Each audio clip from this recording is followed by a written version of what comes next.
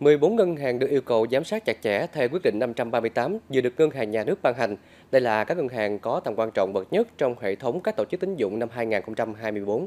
Việc phê duyệt nhóm các tổ chức tín dụng có tầm quan trọng nhằm mục đích yêu cầu cơ quan thanh tra giám sát ngân hàng, ngân hàng nhà nước chi nhánh, tỉnh, thành phố trực thuộc trung ương, thực hiện theo dõi, giám sát chặt chẽ, cảnh báo kịp thời các nguy cơ rủi ro trong hoạt động của các tổ chức tín dụng này để ngăn ngừa rủi ro có tính trọng yếu, rủi ro mang tính hệ thống.